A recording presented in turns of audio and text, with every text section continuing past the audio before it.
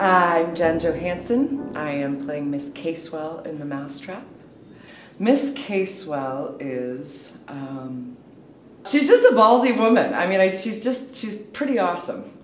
I love her. I'm just really discovering her now. So, and because it's a mystery, I can't give away too much, but I think that there's plenty in each one of these characters for you to want to lean into and learn more about. Um, everybody has some secrets. Everybody has some past. Everybody, uh, they're very interesting people.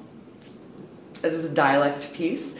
So I have worked on the dialect. I have read the play many, many times. I feel like that's always a good process for me, no matter what. We all have, I think, moments where we um, we have a sort of persona, and then there's a vulnerability that shows you who the person is. And so learning, I mean, those are the challenges, is figuring out when it's sort of persona and when um, perhaps you're seeing a real glimpse of this person's pain or suffering or um, vulnerability, you know. So there's something about a theater that doesn't let you be a passive, doesn't let you be a bystander, really.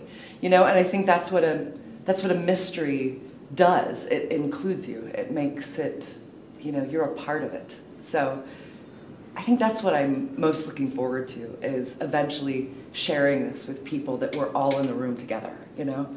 Um, it is IRT at its best because it is a gorgeous design, it is gorgeous costumes, it is it is the full package, and it is just theater yumminess, just the deliciousness of theater. So no reason not to come be a part of that.